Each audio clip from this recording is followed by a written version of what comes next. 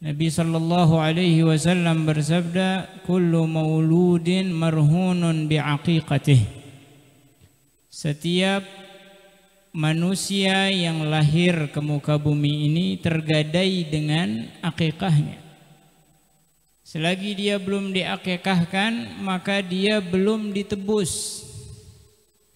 Makanya sunnah akikah ini sangat ditekankan dalam syariat.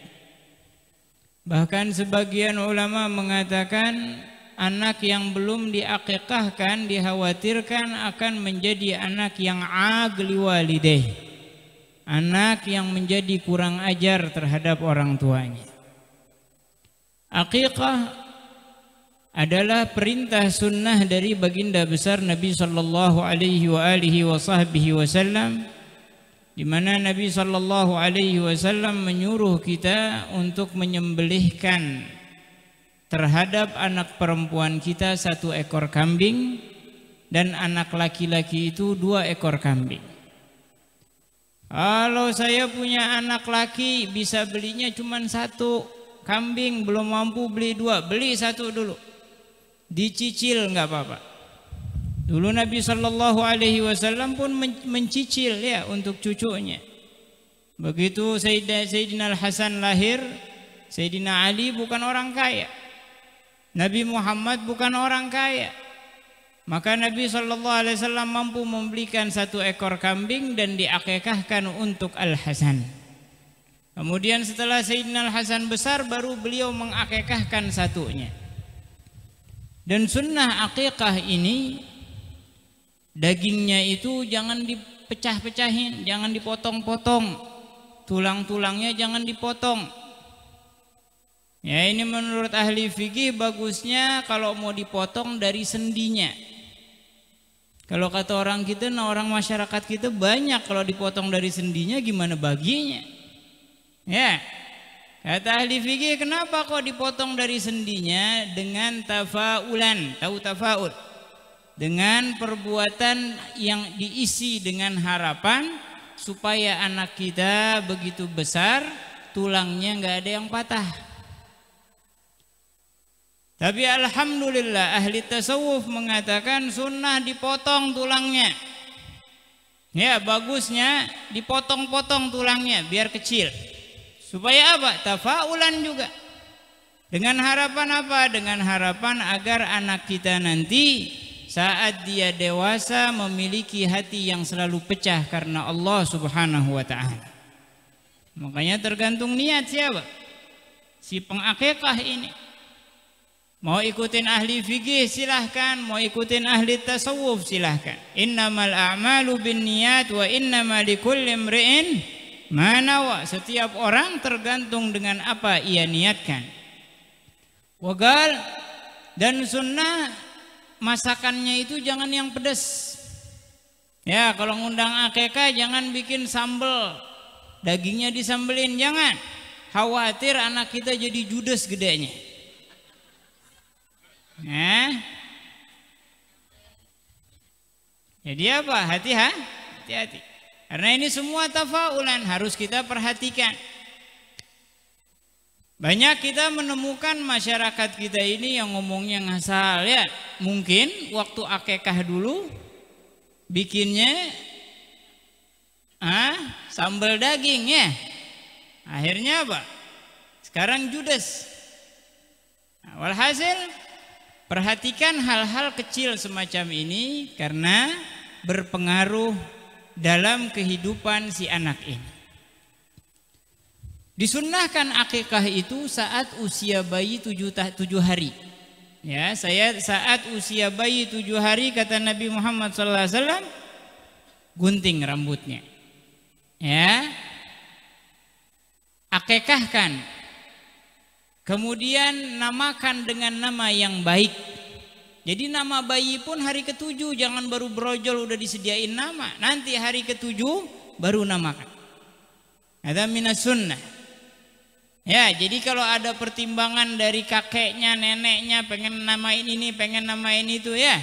Jadi nanti ada pertimbangan kan Nabi SAW begitu cucunya Al Hasan lahir, Sayyidina Ali ditanya sama Nabi, kamu mau kasih nama siapa wahai Ali? Karena Sayyidina Ali hobinya ini perang, beliau mengatakan saya pengen ngasih nama Harb ya Rasulullah. Saya pengen ngasih nama dia perang. Kata Nabi, la bal al-Hasan. Tidak, tapi nanti namain al-Hasan. Di hari ketujuh lah mereka dinamai dengan nama-nama yang baik. Jangan nama-nama yang buruk. Nama-nama yang buruk itu nama-nama yang menyerupai artis, ya. Karena kita otomatis mendoakan anak kita biar jadi artis, naudzubillah. Nama, tapi namai nama-nama sahabat Nabi, nama-nama sahabiyat Nabi, nama-nama salihin, salihat. Ini orang sekarang gengsi nama anaknya Rabi'atul Adawiyah. Gengsi nama anaknya Aisyah. Gengsi nama anaknya Maimunah. Ya. Malah sekarang namanya siapa? Kesha. Hah? akhirnya kesyashar ha? keluar dari ja, jalur naudzubillah min maka jaga nama itu apa al isim tadullu alal musamma. Nama itu menunjukkan orang yang dinamai itu sendiri. Makanya Nabi sallallahu alaihi wasallam mengatakan dalam sebuah hadis afdalul asma'i ma wa sebaik-baiknya nama itu yang ada abadnya, yang ada hamadnya. Abdullah, Abdurrahman, Abdurrahim, Abdul Karim atau yang ada hamadnya seperti Muhammad, Ahmad, Hamid, Mahmud. Ini nama-nama yang baik kata Nabi Shallallahu Alaihi Wasallam. Dan jangan namain anak-anak kita dengan nama-nama sembarangan. Bahkan ada dalam sebuah hadis Orang yang terakhir masuk surga itu dari kalangan muslimin namanya Joshan. Keren gak namanya? Joshan. Hah? Atau kalau orang kita mungkin Johan ya. Mirip tuh. Orang yang terakhir masuk surga namanya Joshan. Nama keren, tapi terakhir masuk surga. Bahkan Nabi SAW menceritakan si Joshan ini udah kagak ada apa? Kagak ada baiknya hidup di dunia, cuman dia orang Islam. Namanya orang Islam kudu masuk surga. Ini janji Allah dan Rasulnya. Man mata ala la ilaha illallah dakhalal jannah. Orang yang meninggal dalam membawa kalimat la ilaha illallah pasti masuk surga. Sebesar apa pun dosa dia. Ya, sebesar apa pun selagi tidak syirik kepada Allah masuk surga. Nah Josan ini belakangan masuk surga. Kalau kita kan ini pada apa? Ada alhamdulillah ngaji. Tapi kalau Johan ikut ngaji bukan berarti bukan dia itu.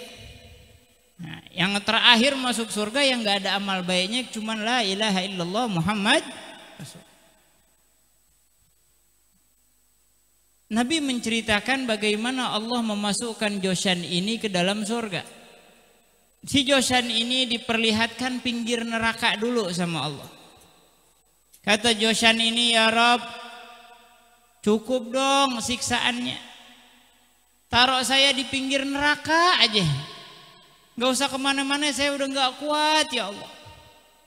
Akhirnya ditaruh di pinggir neraka sama Allah. Setelah sekian lama dia menoleh lagi ngelihat pintu sorga.